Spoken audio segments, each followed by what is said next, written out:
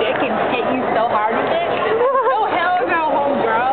I'm gonna kick your natural white ass, bitch. Uh, uh, uh. Hey, girl. Fucking ugly people here. How you doing? Here, here, give it to me. Give it to me. That's more loving. That's more to love.